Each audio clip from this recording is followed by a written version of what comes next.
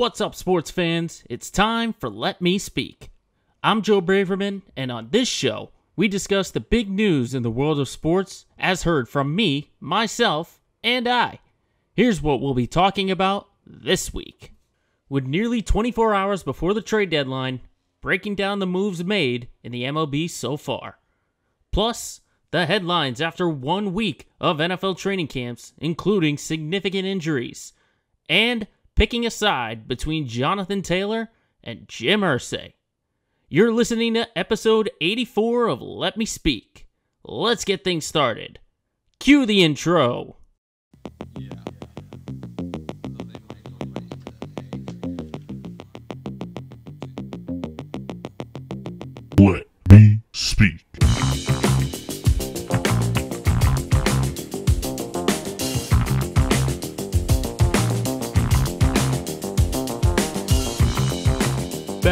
saddle and ready to roll. You are listening to episode 84 of Let Me Speak. We are recording here on Monday, July 31st, 2023, here from Swampscott, Massachusetts. Thank you, everyone, for tuning in wherever you are getting this podcast. If you're listening to us on any streaming platform, thank you for listening. Or if you're watching us on YouTube, thank you for watching. In the past week or so, it has been kind of crazy if you ask me. I mean, Massachusetts has been hit with some tornadoes and some pretty crazy storms, but it is gorgeous outside. I'm looking right outside the window and I see nothing but sunshine and blue sky. And hopefully those temps stay right where they are because this is absolutely peaceful. Now, allergies, on the other hand, could be a little bit better.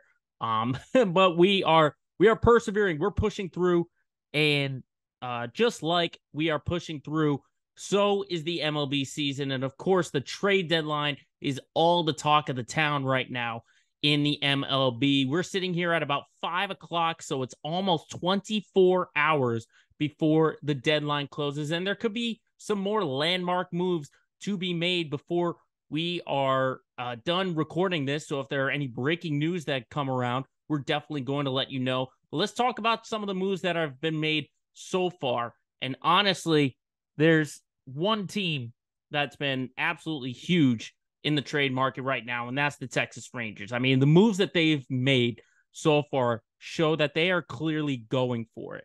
They're going for the playoffs, the division, the World Series, everything. And honestly, when you think about it, it makes sense as to why the Rangers would want to go for it this year. Because really, at least in my eyes, the American League has never been so wide open. I mean, when the season first started and Tampa got off to that hot start, you would think Tampa is the team to watch for. They look like the runaway favorites to come out of the American League. But sure enough, they come in with a collapse. The Orioles overtake them.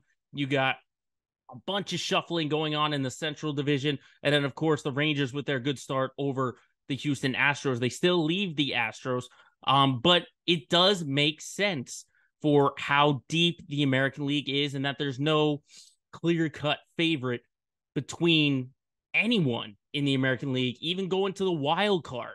I mean, we're about though that's about six or seven teams deep that could make a run.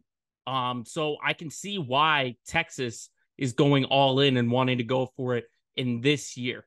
So so far, let's look at the three big names that they've gotten. Max Scherzer, the big one, Jordan Montgomery, and Chris Stratton. Now, I think the the Mets philosophy is that what Steve Cohen was thinking when he made all these moves. He gave the big contract to Scherzer, gave the big contract to Justin Verlander, who might be another name out there. He kind of saw this as a new modern, you know, the way that George Steinbrenner and the Yankees would run things is putting all their money into the best players. But they forgot to understand that Max Scherzer is 39 years old and that Justin Verlander is nearly 40 years old. So if you're divesting that money, I mean, not everyone is Tom Brady and is going to play until 50 or 60.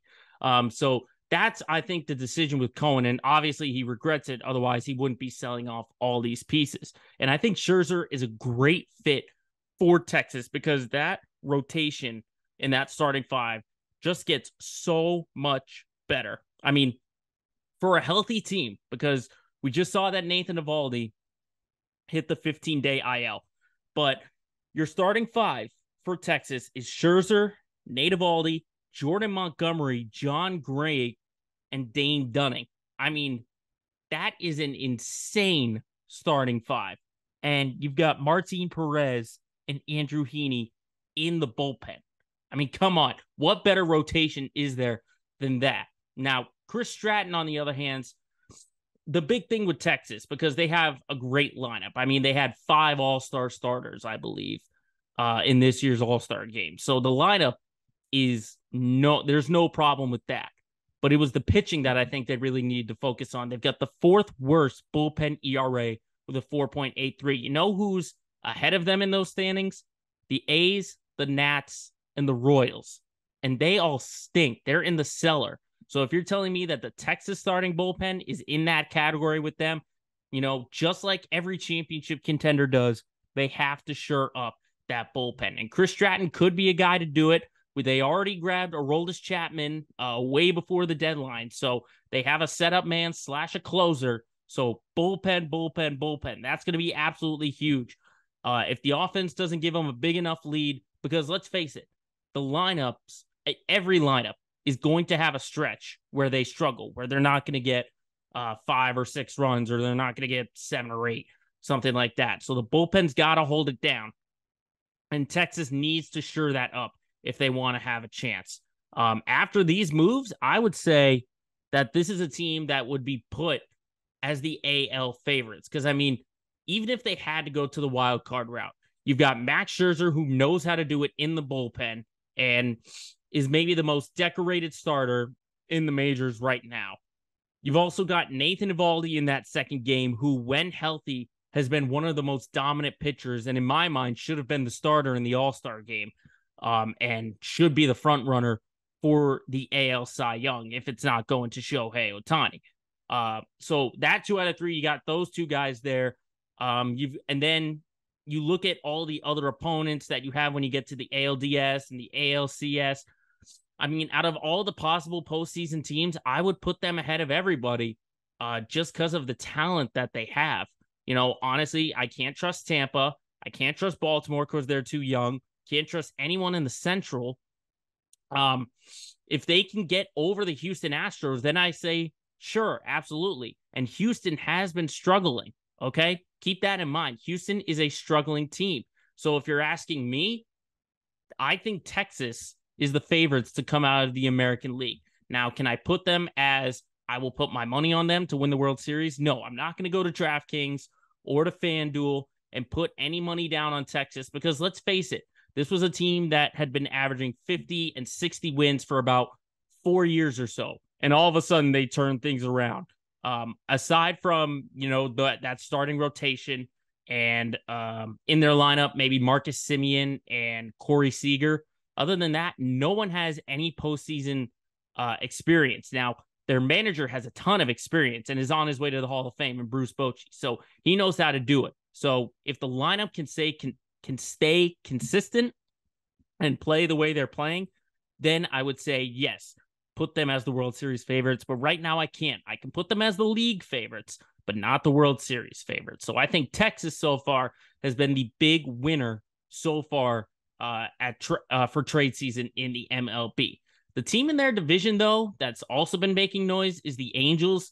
And even if they are not a winner or a loser in this, they are literally doing everything they can to please Shohei Ohtani by making the playoffs. And I've said this for multiple weeks now is that the Angels really have no choice but to do everything they can. I mean, look at the prospects that they uh, had had uh, put in there. Um, they've basically given Chicago their entire farm system. That's really all they've done just to please Shohei. And it might not work. It might not work to see uh show because Shohei Ohtani might leave. He might leave. Um, regardless of the decision. Um, which, which by the way, just a quick side note, the doubleheader last week from Shohei. Just there's there are some things that I think he has already done but then he just does more. You know, game one, he does a one hit complete game shutout. Game two, he puts in two homers. I mean, come on. This guy should be a unanimous MVP uh, in the American League. I can't say Cy Young, but just the fact that he's doing both has been absolutely unreal. But looking at the the moves that the Angels have made so far, they grabbed Lucas Giolito and Reynaldo Lopez from the White Sox. And I said this last week, and I've said it uh, for a long time now, is that the Angels have always had a problem with pitching. Even the big guys that they get in the free agent market, it still hasn't worked. And really, Ohtani is like the only pitcher that they've gotten who have worked.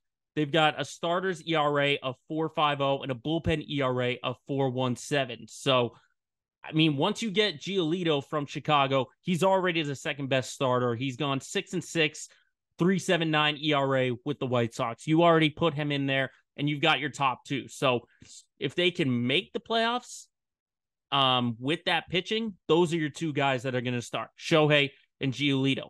But then over the weekend, yesterday, from Colorado, they grabbed Randall Grichuk and CJ Cron from the Rockies. Now, the the big thing that the Angels have relied on has been their lineup. I mean, they've they're top 10 in average, on base percentage, slugging, and OPS. And the problem that they're dealing now is that they've got a ton of injuries. I mean, you had the ugly scene with Taylor Ward uh, getting hit in the face by Alek Manoah. Uh, he's got a facial fracture.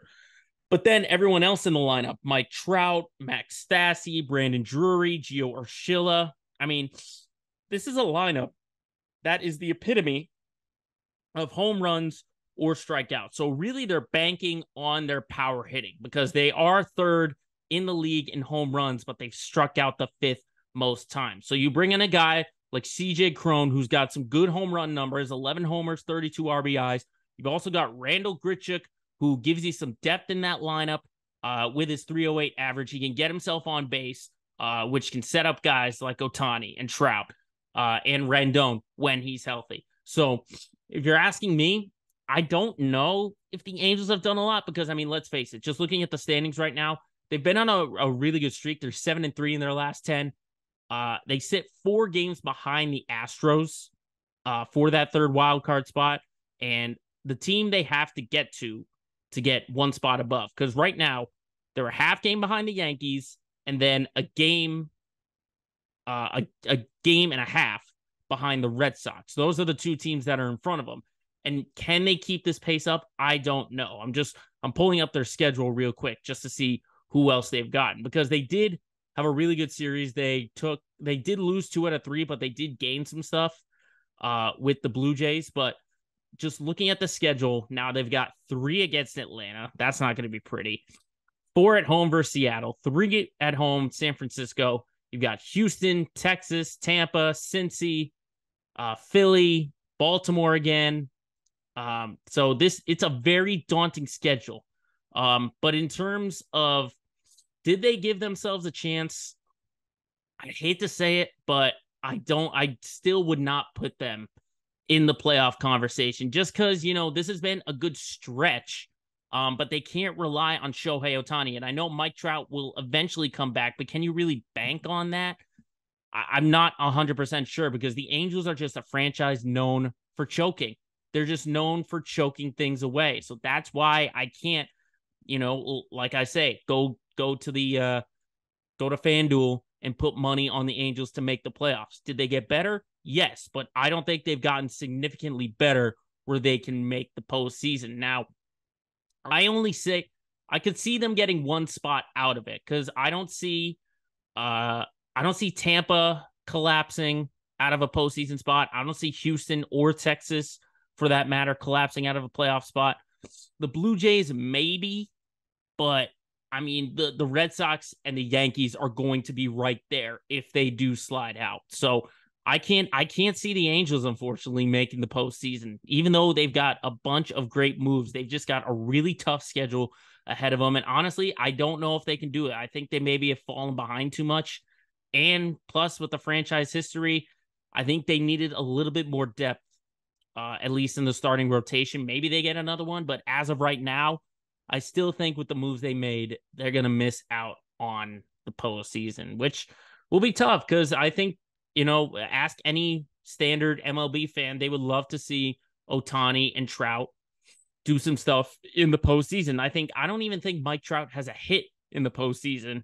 And the last time he made it was a decade ago. Uh, I think it was 2014 was the last time. And we have yet to see Ohtani in the postseason, which it, it stinks. That's the only reason I'd root for the Angels. But realistically, I can't see them making any kind of run uh, to get into the postseason. But speaking of a team in LA, how about the other team, the Dodgers? That's the last team I wanted to talk about here. I mean, let's face it, they're always active, involved when in regards to buying at the deadline. I mean, they've already gotten a starter in Lance Lynn. They got a reliever in Joe Kelly. They got a utility man in the in an old face, Kike Hernandez. Because really, what's the problem with the Dodgers is is been their bullpen. I mean, I've never seen pitching for LA as bad as it is. These are the numbers right now. Among their starters, they're sixth worst in ERA at 476. In the bullpen, they're 22nd with a 416 ERA. I mean, this used to be a team that had tremendous pitching depth, but now outside of Clayton Kershaw, and even he's an asterisk, everyone stinks or is either hurt because this this rotation would be so much better if they had Dustin May or Walker Buehler, just to name a few guys. But Buehler had the Tommy John. Dustin May is now out for the year. And then you're relying on guys who had good years, but just can't back it up, like Urias and uh, Tony Gonsolin. And they're not as good as they were a year ago. So really the rotation is where I'm looking at because their lineup is totally fine. You got Betts, Martinez, um, uh, Muncy, you know, just just to name a few, Smith. They they just have a array of talent uh surrounding them. So uh I Freddie Freeman, of course, at first base. Um, so if you're asking me, I think the Dodgers lineup is fine, but starter is where they're going. And we've heard reports that they're thinking about Justin Verlander. I mean, if Justin Verlander lands on the Dodgers, I mean, look out. I mean, it, it wouldn't surprise me if the Dodgers, you know, are able to require Justin Verlander.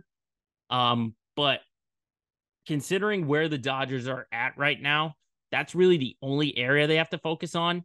And really, if you're asking me, it's just that's just what the Dodgers do. We know they'll get into the postseason, but it's about making a World Series run because they are leading the division right now. Just uh, pulling up the standings really quickly. They are two games ahead of the Giants. You know, the Diamondbacks have come back to earth. The Padres still haven't done anything, and the Giants are still, you know, kind of iffy, you know. So this hasn't been a great regular season, but the fact that they're still winning the division with the starting pitching that they have, you know, you just sure that up and you can compete. Now, do I still think they're not as good as the Braves? No. But do I expect a Braves Dodgers uh were possible National League Championship Series? Yes, I do. And the Dodgers are realistically looking at that. They're they're looking ahead to the DS because really Cincy and Milwaukee, they're not really competitors right now. The Giants, you know, they've beaten them in the past. The Marlins, the Phillies, I still think they're better than them. Um, so that's what I'm looking at with the Dodgers and really for all the MLB. Everyone's going to shore up their pitching. Uh, there's no doubt about it that the Dodgers are the team to really watch out for when it comes to starting pitching and possibly Justin Verlander. So again, almost 24 hours away. So this could be all minute by the time tomorrow rolls around. By Tuesday at six o'clock, when the deadline closes and we see who made the moves and who didn't make the moves. Um, so that's what's going on in baseball. But up next, we talk about football. Football is back via training camps, and we'll look at the teams who are making the most headlines through the first week of training camp season.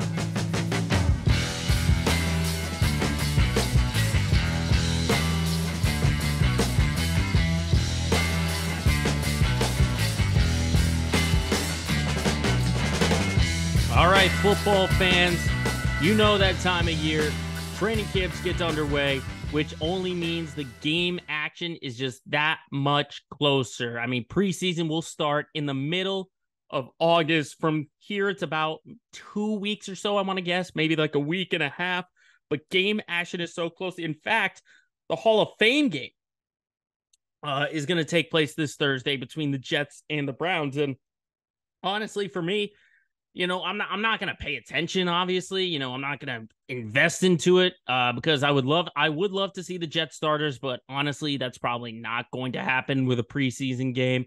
Plus, you've got so many big stars uh, on the Jets team, so it's probably not going to happen. But it's just going to be some nice background noise to have on. And really, the Jets are the first team that uh, I've really been paying close attention to because I said last week that from uh, practice videos is that uh, everyone looks in sync. Everyone looks smooth. Um, we're seeing Aaron Rodgers and Garrett Wilson have a really good connection. Um, so, I mean, that's one thing. The other thing you got to also mention is Dalvin Cook is close to signing with New York. I mean, he was hanging around the practice yesterday.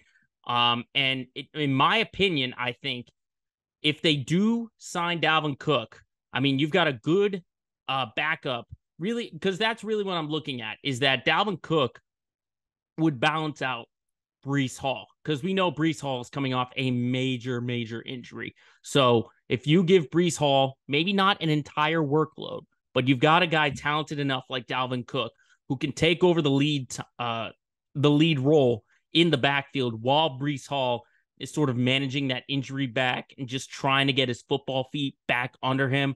That would be an insane improvement by the Jets. And I already told you that position wise, you know, they looked locked at almost everywhere. O line, corner, uh, you know, Sauce Gardner and Garrett Wilson are going back and forth with each other. I mean, I I think if you have to ask me, if if Cook does sign, it would be the most talented roster in the NFL. Now, that doesn't mean we're picking them to win the Super Bowl. Of course not. Of course not. But on the 53 man roster, everyone they have lined up on projected starters, if 90% of them are fairly good talent, everyone is talking them up, then I would say that's a very talented team. So, I mean, we and we've seen talented teams or who have the most talent, superstar players, etc. They haven't won the big one. But I think I'm not I'm not putting the Jets in the Super Bowl, but if they do sign Dalvin Cook, it would be the most talented team in the NFL. That doesn't mean I'm projecting them for 11 or 12 wins. I'm just saying they have talent. They have the most talent. Can they put it together? Can Robert Saleh uh, get a good game plan on the offense and the defensive side of the ball? I don't know. But Dalvin Cook in that backfield with Aaron Rodgers, with all the receivers that they have and the strong offensive line slash defense, it's the most talented team in football. So that's the first team I'm watching for because they have so many new pieces and it's almost kind of like a new culture kind of thing for the Jets. But staying in the division, I'm also looking at the Dolphins because the big injury has been Jalen Ramsey. Um, maybe the best cornerback tandem with him and Xavier Howard uh, on each side of the, each side of the field. And now Ramsey is out indefinitely with a knee injury. They're talking uh, with this meniscus tear, six to eight weeks. Ramsey says He's going to try and get ahead of his timetable, possibly in November rather than December. We don't know. I still think it's a fairly good defense with Miami, but I just that's that's a bad injury to have. I mean, we know injuries are going to happen. I mean, today we saw Tim Patrick in Denver. Uh, the fear of a possible torn Achilles for Denver, so that uh, sucks for them. But on Miami side of things, I'm really looking at at at Tua because like like I said is that Tua is the only thing getting in the way of the Dolphins having success because we know we saw what they did last year with a healthy Tua Tagovailoa. And the fact is if he stays upright, he can be a very good quarterback and lead this team to the postseason. Interesting this past Sunday uh, when I was producing Travis Thomas on WEEI, he predicted them to win the division. I mean, that sounds kind of crazy for them to win the division because I still think the Bills, uh, like I said last week, I think the Bills are still the favorites and will win that division. You know, Stefon Diggs, even though he's been upset um, and uh, stuff like that, uh, for, he's still upset with what happened in January against Cincinnati. I still think they find a way to piece it together and win that division. But for the Dol- the Dolphins can be a good team. I mean, like I said, the AFC East is probably going to be the most competitive division in the NFL. You might have the Patriots, who I possibly predict to finish in last place with a, a plus 500 record. Um, and and all four teams have the ability to make the playoffs. Um, so I think this could be a slip up that doesn't look significant at the time, but when it comes around, you might realize, ooh, Jalen Ramsey might be a little more important than we think. Because let's face it, uh, the all you got Aaron Rodgers and the Jets, you got Josh Allen and the Bills. Um, put aside, put on all the other offenses that the Jets have to face or uh, the Dolphins have to face. Um, and it's a daunting task. And if they had those two cornerbacks, I would have said, yes, they can contend for the division maybe until the last week or two of the season. But looking, you know, just think about the offenses they'll have to take on uh, at least until December. I mean, you've got Herbert and the Chargers, uh, Russ Wilson. I talked about uh, the Bills and the Jets, the Eagles, uh, the Chiefs, uh, the just to name a few. I mean, I really do think that it's going to, it's a big injury. You know, I know cornerbacks, you know, there's no such thing as a shutdown corner anymore, but Jalen Ramsey has been pretty close to it. And the fact that him and Xavier Howard were on both sides of the field, um, I think that uh, made that defense maybe the best in football. But now, if they don't have one of the two, I don't know. I feel like that passing defense is going to struggle a little bit. You know, I know they've got good linebackers and Christian Wilkins anchoring the defensive line, but I don't know. No Jalen Ramsey, a guy who's got the experience for a, a relatively young team. I mean, I know they might made the postseason, but I, I think this is going to come back and hurt the Dolphins more than people think. You know, like I said, it relies on Tua, but I still believe this injury is going to be a significant one. But one other injury that I'm looking at is obviously with the Bengals, and that's with Joe Burrow. I mean, we saw we saw the video of him uh, non-contact injury. He was limping. He had to get carted off.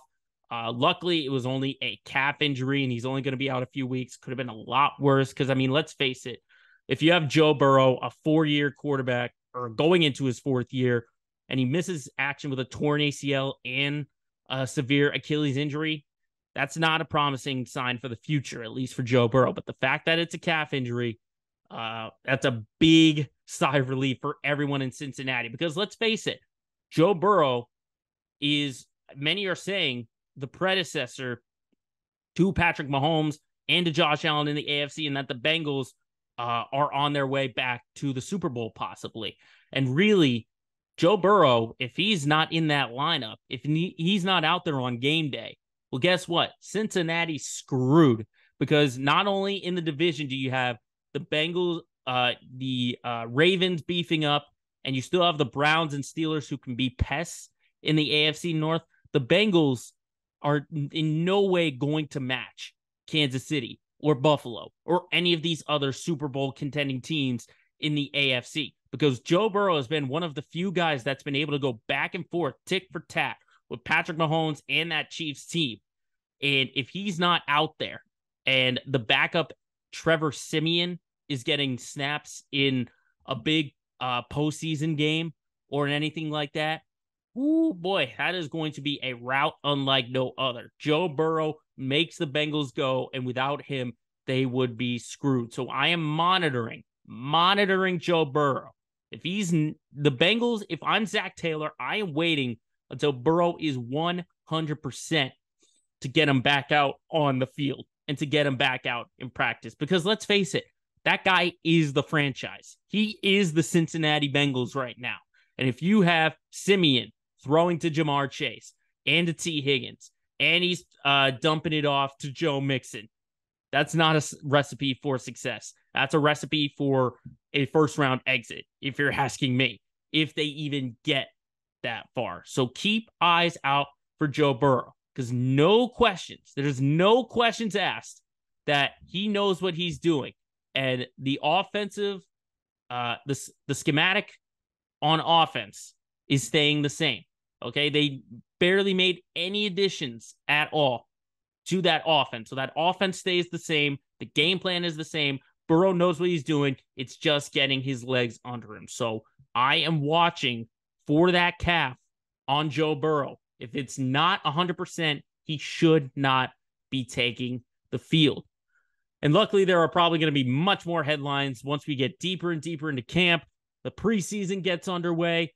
Um, so there's going to be a lot to look forward to in the NFL. And coming up next, there's a lot more topics that we have to discuss, including the newest tale in running back drama in the NFL. You're not going to believe who's requesting a trade now.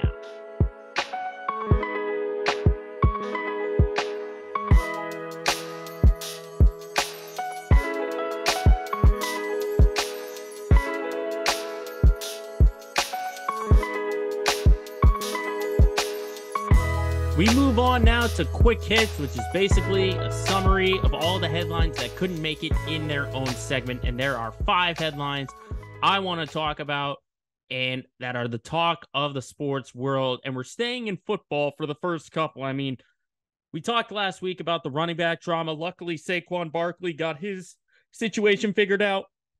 He's going to be making more than the franchise tag um, that he signed. We're still waiting about Josh Jacobs, anything like that. But another star running back has gotten into his own situation, and that is Jonathan Taylor, the former leading rusher back in 2021 for the Colts. The drama continues as he formally requested a trade after a meeting that took place apparently for an hour with Jim Irsay. And speaking of Jim Irsay, he has decided to dig into his heels and say that he is not going to trade Jonathan Taylor, regardless of any kind of his requests. Now, let's just put it like this Jim Irsay, at least to the standard football fan, is one of the most unlikable people around football and in the NFL because this is a guy who continues to toot his own horn. You want to know how bad it, you want to know what it's like. Just look up at the Indianapolis Stadium and see AFC runner up back from 2015. They put that banner up. That's what Jim Irsay is. For a legendary franchise that has had Peyton Manning and Andrew Luck, this is a guy that um, decides to literally jump on whatever kind of success he has and just makes headline after headline. Now, the drama with this is what we heard on Sunday night, which was that there's apparently a pre-existing condi- uh, injury that Taylor had before getting to camp and that was a back injury. And Irsay said they might put him on the NFI list, and that would withhold the salary uh, that Taylor is supposed to be uh, paid. And we already saw on on Twitter or X, I guess now. I'm not going to get used to that. It's still going to be Twitter to me. Is that Taylor refuted uh, that he had back pain or reported back pain. And honestly, if you ask me, Jim Irsay would be a great politician because he will say and do anything to get his way. He wants to be, he, he's literally stuck on his morals and all his decisions. I mean, let, let's just put it like this. If I'm picking a side, I'm going with Jonathan Taylor. Because if I'm a guy like Taylor and I don't see a winning season in relative distance, because I mean, let's face it, if you're going to start Anthony Richardson, um, you're not going to be contenders for the postseason, even with as bad as the division that they're in is. Um, if I'm Jonathan Taylor and I don't know what direction I'm going in, and Jim Irsay is just playing a bunch, uh, putting some words in a salad and mumbling them up together, and I have no idea what's going on, that's what I would do. That's what I would say for Jonathan Taylor is I want out of here. But Jim Irsay, again, stuck in his own ways, stuck in his own morals and beliefs and anything like that, is that he wants to keep him. And honestly, I'm not a big fan of that. I would want to see Taylor on a different team. That's how I would see it. Um, but if you're you're really if you're thinking about it, at least in in my eyes, is that Jim Irsay continues to just, as I say, stuck in his own ways, and he just continues to be. Remember, he was the guy that teased the owners um, voting out uh, Dan Snyder at the time before he sold the team, and on honestly, like the owners were just like, shh, shh, shh, shh, shh, don't say that. Jim Irsay literally outs himself with every single passing headline or whatever. Um, so really, I think if I was again picking a side, I would go with Taylor because you can't trust Jim Irsay as far as you can throw him. That's if you ask me. Um, but staying in football and staying in drama, we have some new drama with some some star future Hall of Famers and what I would call some uh, well respected personalities in the NFL, and it involves Aaron Rodgers and Sean Payton. Now, so um, the story, how this starts, is Sean Payton, the new head coach of the Denver Broncos, goes on and criticizes the former head coach of the Broncos in Nathaniel Hackett, who happens to be one of Aaron Rodgers' favorite coaches. He was an OC for the Packers. Now he's the OC for the Jets. But the way Payton said it was that quote, Nathaniel Hackett with the Broncos did one of the worst coaching jobs in NFL history. Now, number one, duh. I mean, who honestly thought that what Nathaniel Hackett did in Denver was good and was actually successful? The dude didn't make it through his first full season, okay? It's him and Urban Meyer in that distinct category, basically the Hall of Shame in terms of coaching performances. That's what I would say. So Payton is just saying nothing but the truth. Okay. He's saying what everyone else is thinking. Okay. You know, maybe as time goes on, we realize, oh, it was Russell Wilson more than Nathaniel Hackett. But at the moment, Hackett is the one who is getting blamed for this. And he did later apologize, saying, Oh, I had my Fox hat on because he spent time with Fox from his time in between New Orleans and Denver. But then Rodgers yesterday comes out and literally drops a bomb on the situation and says, I think it was way out of line, inappropriate, and I think he needs to keep my coach's name out of his mouth. Oh boy, Aaron Rodgers just went Will Smith on Sean Payton. I mean, that is the 2023 football season, just like the 2022 Oscars. I mean, if I had like a rap horn of like a burn, you know, burn, burn, burn, total burn, that's how I would be doing it with Aaron Rodgers because oh my goodness, what a quote that he decided. And I thought these guys were good. I thought, you know, I've seen Sean Payton and Aaron Rodgers get along very well. But the fact that Rodgers is saying this about Payton, that just makes me so eager for 425 on week five of the NFL season in Denver when Rodgers and Hackett take on Payton and Wilson. That's going to be so, so exciting to watch because the drama is going to boil over. It might not be in the game, but when it comes to the handshakes, you best believe that Aaron Rodgers, because he is the drama, ego, spotlight, everything like that, he's gonna find a way, whether it's intentional or, or not, that he's gonna he's gonna find a way to put fuel and put gasoline on this fire to make it bigger than it already is. So, boy, Aaron Rodgers just made something out of nothing. Uh, but staying in football, we go to the college game and we talk about another conference realignment, and that is with Colorado. Colorado in 2024 is heading to the Big 12.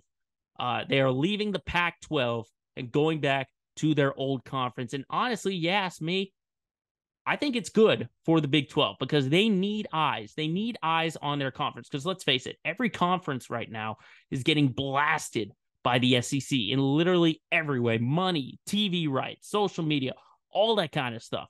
They are getting blown out by the SEC. So the Big 12, because they won't have Texas and they won't have Oklahoma, they're jumping to the bigger conference. They need something that will gravitate the headlines. And I think there's no bigger name in college football right now than Deion Sanders. Everyone is talking about his jump to Colorado. What is he going to do with the program? All the turnaround that he's had. Only like I think five of the original teams on last year's Colorado team is still out there. Deion overhauling everything. So really, that's what's going to be appealing is getting Deion Sanders in the Big 12 because it keeps the Big 12 relevant. I mean, really, honestly, how many people knew of the Big 12 and followed all the uh, championship. I know TCU, they won the conference or whatever and they got into the playoffs, but honestly, like ask any fair weather college football fan outside of Texas and Oklahoma, what other teams do you think people actually care about? Because it's not Oklahoma State, it's not Baylor, it's not TCU, no matter how good they've done. It's Texas and Oklahoma. And if you lose those two big names, you need to replace it with another big name. And Primetime Sanders is the guy to do that. And unfortunately, we won't be able to see it until next year. But again, more conference realignment, and it just puts more, it's just more jumbling in the college football system where eventually, what I think they're going to do away with the conferences. It's going to be one big mega conference where the Power Five come together and they figure out something like that. So that's what I see with Colorado heading to the Big 12 next year. Moving on, though, we get into some basketball and we talk about the NBA here because NBA teams just got a memo uh, from the league about Damian Lillard. Yes, the situation that still has not resolved itself. Um, of course, the reports came out that Dame Lillard would only play for the Miami Heat and that he's not going to invest anything if he gets traded to anywhere else. And that led the team, uh, the league, at least to sit down with Dame and his agent. They talked about it. And now the NBA has just sent a memo saying, you know, disregard it, basically. Disregard that statement. Damian Lillard will play for your team if he does get traded. Don't shy away from it. But basically, all it is is that Dame and his agent got caught with their hand in the cookie jar. That's all it is. And they're just trying to make up for it. They're saying, oh, absolutely. I, I don't think this at all. Of course, I'm going to put in 100%. Absolutely. But let's be honest. We know where this ends. Like I I've said this for weeks now. The situation with Damian Lillard ends with him in a Miami Heat jersey. That's how this ends. So they can send out this memo all they want. They can tell the teams, oh, we talked with him and he's going to play for whatever team he possibly gets traded for.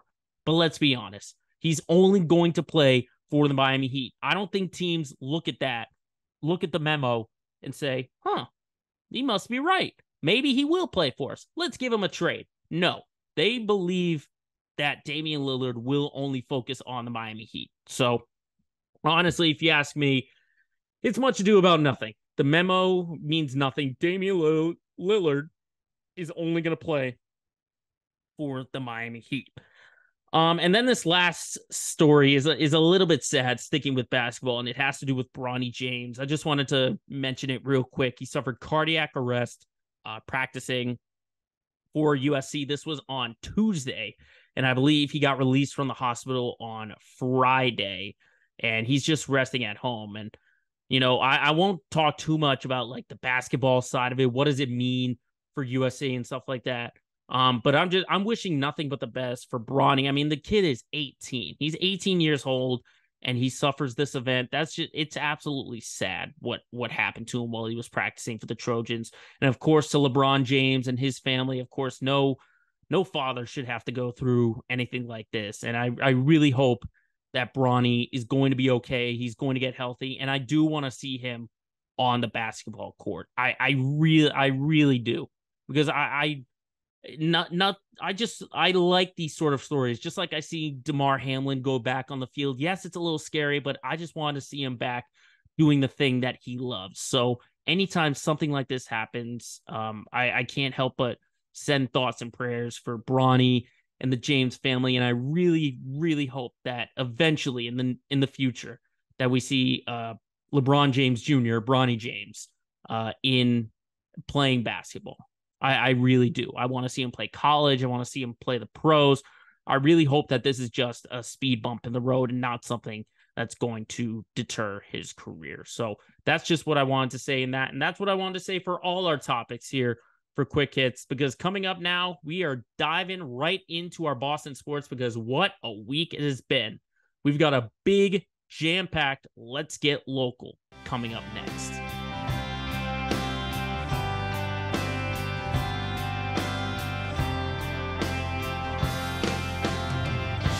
This is our city.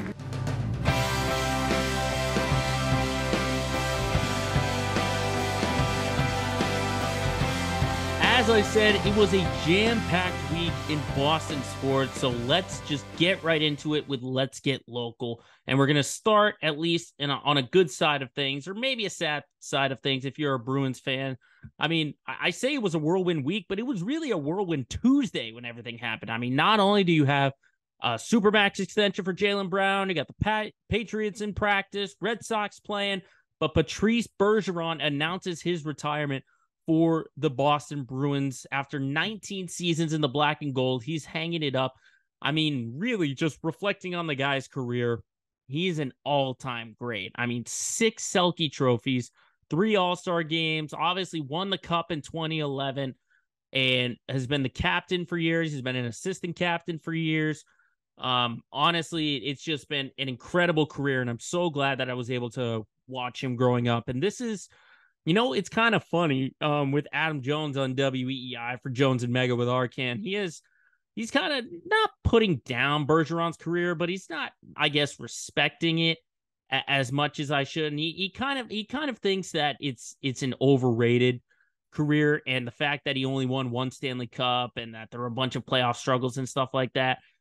I, I kind of disagree with that. I don't really think it's all, you know, when when looking at a great athlete, it's not all about winning the big one or winning the championship. I think he is respected, you know, unlike what Jones wants to say. He's one of the best defensive centers. I mean, it's very hard to find a player uh, who's who's a great two way player. If you got a, a defenseman who can score, or a center, or a, or a wing who's so good on defense, I mean, it's not solely based on the amount of failures. I mean, should they have more than one Stanley Cup? Absolutely, they should, but that's not going to encapsulate the guy's career. I mean, yes, he went to 13, but it, he went to one in 2013. They lost in 2019. Obviously, this past year when they had the best regular season of all time, and then they drop in the first round. I mean, let's be honest, that's not all on Bergeron, okay? That should be on the whole team. I, I said it in our first return episode was that Jim Montgomery did too much shuffling with the lineup. I don't put that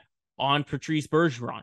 Um, so the fact is that this guy had a tremendous career. I expect to see number 37 in the in the rafters sooner rather than later. In fact, I'll be very upset if it doesn't happen next year.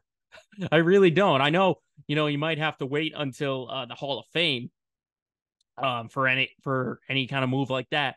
But I want to see 37 in the I want to see it in the rafters next season. Um, and you know, really just looking back um at that Florida series, the way it ended, I, I it does make sense now. You saw uh following that game seven loss in OT, Bergeron, he was hugging his teammates and he was in tears, especially when he was hugging Marchand. Um, so it, it kind of makes sense. And he did say in his press conference that, you know, he kind of was leaning towards it um after last year. Because remember, this was the exact same talk. Is he going to come back? He signs a one year deal. Um, but really, he, you know, he said it himself is that when he signed, he he kind of knew in the back of his mind that 2022 2023 was going to be his last season. And the fact that he gets to go on top, win a Selke award, get to a thousand points. I mean, what a tremendous career. What a tremendous career. Um, and I know we're definitely going to be, at least Boston is going to be honoring him for a long, long time. Now, in terms of on the ice, how do they replace it? I mean, it kind of made sense with the moves that they've made. You know, picking up guys like Van Riemsdyk, bringing back Lucic. It it makes sense trying to fill him in at the top line center spot. But really, the way I see the line chart is you're probably going to get Charlie Coyle moving up to that first line. He'll probably be uh, on that top line. Then you have Pavel Zacha, Trent Frederic right behind him. So I think the center depth is going to be really good. The problem I have is with the scoring because I mean we know what they lost. They lost Dmitry Orlov. They lost Garnet Hathaway. They lost Tyler Bertuzzi. So they lost a lot of their talent from a year ago, which means a lot of their young guns are going to have to step up. You know, more on the plate for uh, David Pastrnak, more on the plate for Jake DeBrusk, uh, just to name a few guys.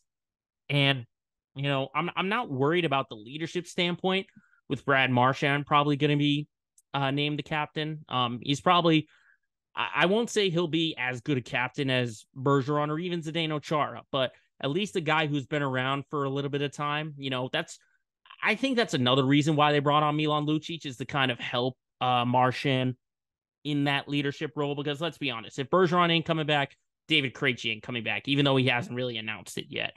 Um, I don't expect him back on the ice for the Bruins.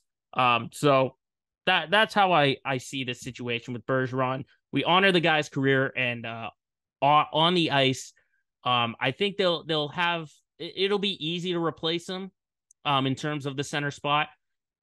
But I can't say they're going to be, you know, President's Trophy again. They're they're not going to be the best team in hockey like they were last year. But you know, I think they can be sort of a fringe playoff team. You know, maybe get one of those wild card spots. You know, kind of come back down to earth with uh, what I saw. So, uh, Bergeron, thanks for the tremendous memories that you made as a member of the Bruins. But let's talk about the Red Sox because we mentioned it at the top of the show. The trade deadline's the big one, and really, um, I wanted to mention the Red Sox as maybe the top team to watch because they are in one of the the the rare situations where they can't. It would be it would make sense to be a buyer, but it would also make sense for them to stand pat and do nothing.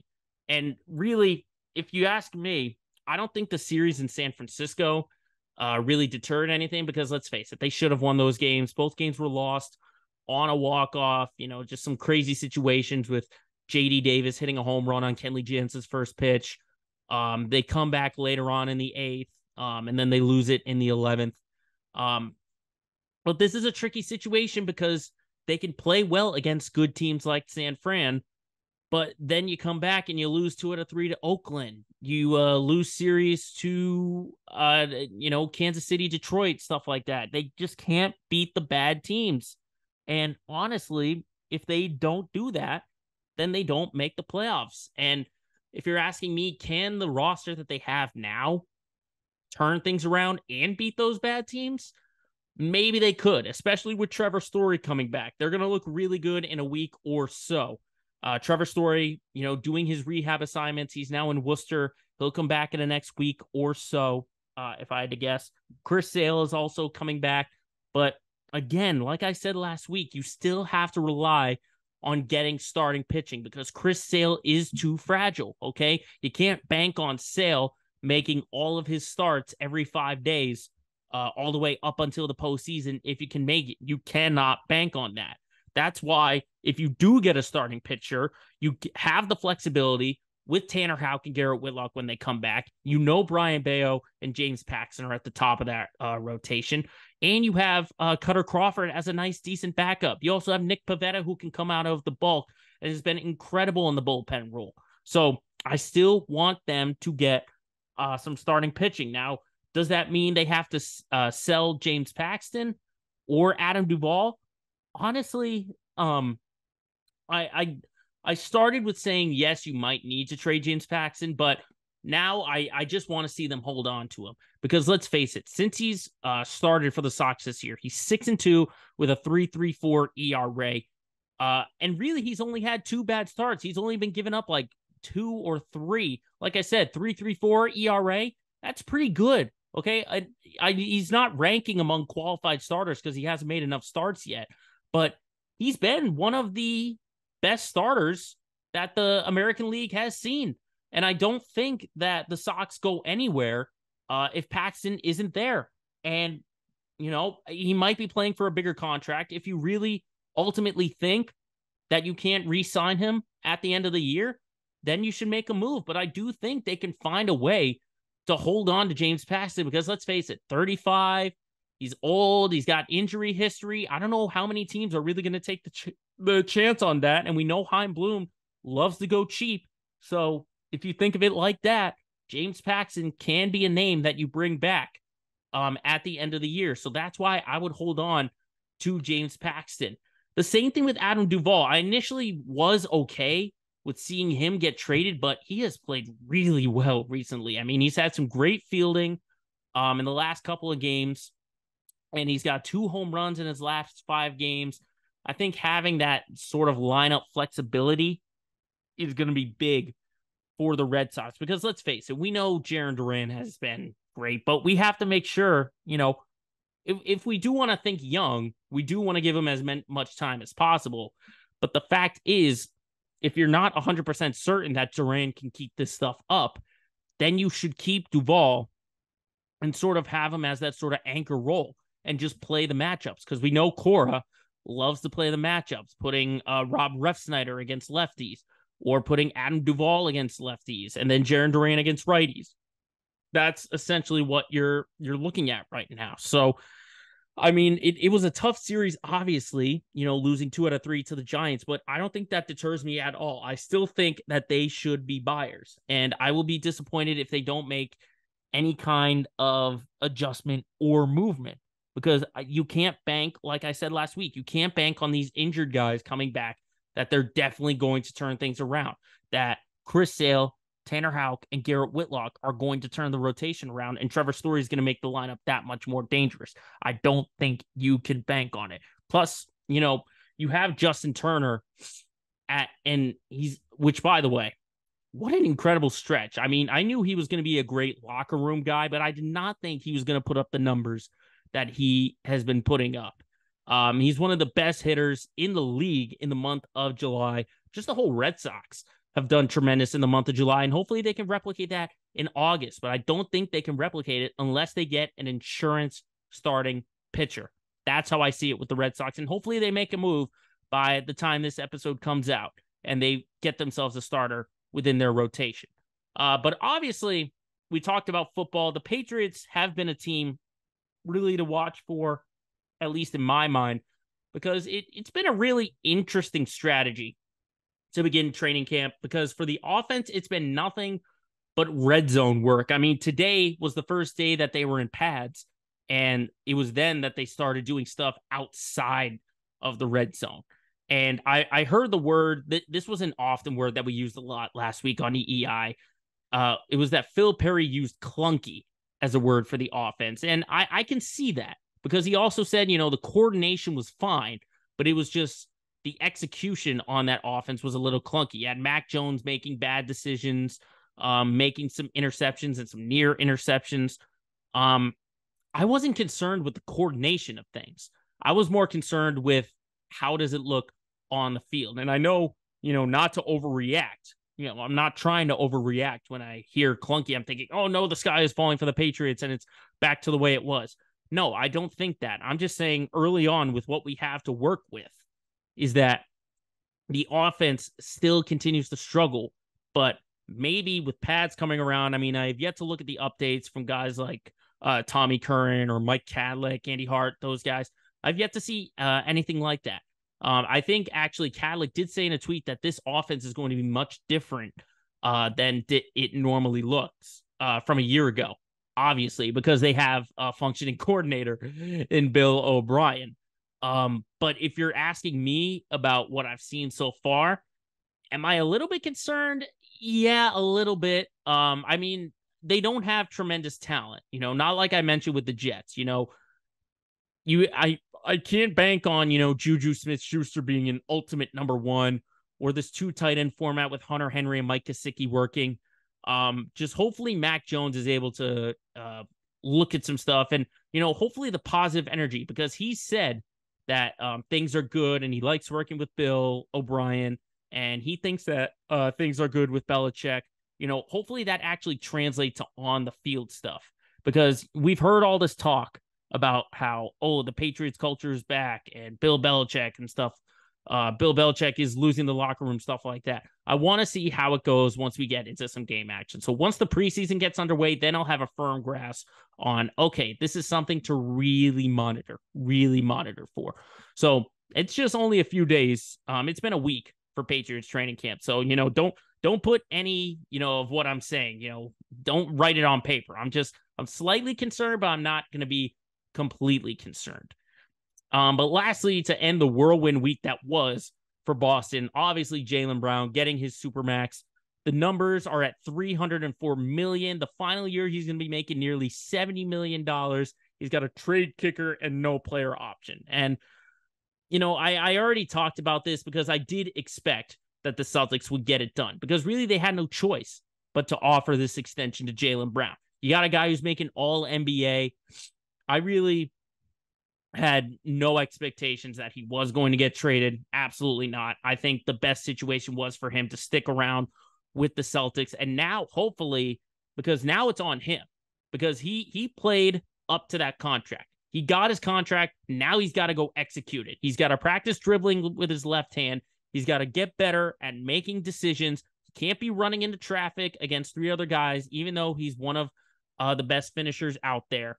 So I really hope that Brown, after this contract, really works on his game and understands that you don't just once you sign this contract, you don't get to ease up. You have to prove yourself into this contract. And because there is uh, a trade kicker on this, that means he's sticking around for a little bit of time. Okay. So let's just hope that Jaylen Brown understands the memo after getting this contract that it's time to get things going.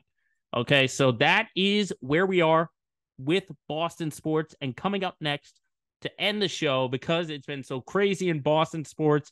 We got to lighten things up and get to our LOL moment of the week. Coming up next.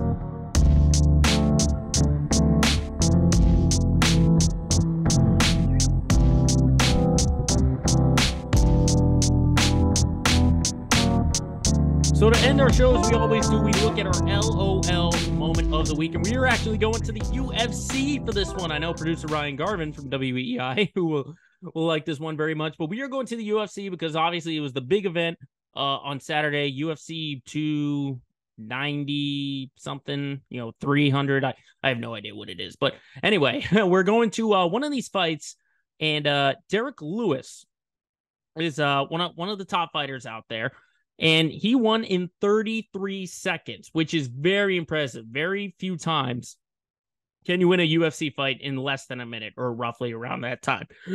But Lewis decides to win, or he doesn't decide to win. Obviously, he goes out and he wins in 33 seconds. And then what does he do to celebrate? Now, most guys, when you celebrate, um, you know, eh, the guys will stomp around kind of like a wrestler, just go out, strut their stuff, maybe like flex their muscles, you know, something like that. But Lewis decided to go to a different route. He decides to take off his shorts and go down to his underwear and celebrates in the octagon in front of a live audience, not just in the arena, but at home watching. He's in his underwear celebrating a victory. Now, I don't know how you listeners or watchers feel about this, but I would not want to be anywhere in public in my underwear. Not at all. Not at all. And I know they're saying picture everyone in your underwear. Yeah, that's how I want to picture it. I don't want to see anyone in their underwear in public, really. Okay. So the fact that Lewis decides to go ahead, I mean, it is in Vegas, you know, at, at least I think it's in Vegas uh, where this event was. And we do know everything can happen in Vegas when you're in there. You know, the old saying, what happens there stays there. But the fact that the celebration decides, he decides to go ahead, just stand in the middle, pull down his shorts, and just struts around in his underwear. Then he does sort of like a, I guess, uh, what's that group in wrestling? Like DX or something like that, like sort of the suck it symbol. And then he goes up to like the top of the cage. He's straddling it. He's throwing around his shorts. I mean, I, I wish I could know the answer for Derrick Lewis why he decided to do that because honestly, I'm not comfortable. I, sometimes I don't even feel comfortable wearing underwear in my own house, much less in public. I mean, thousands and thousands of people saw that.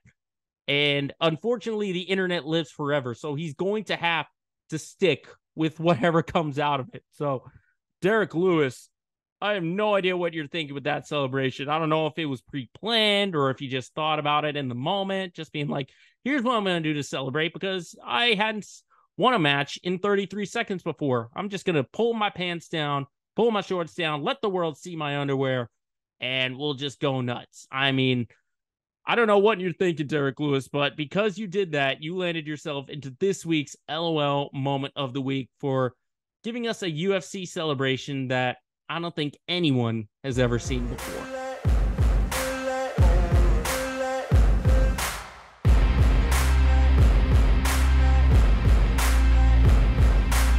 And with that, we are done here with episode 84 of Let Me Speak. Thank you, everyone, for tuning in. If you're listening to us wherever you get your podcast or you're watching us on YouTube, make sure you are following our social media pages. Look on Facebook and Instagram.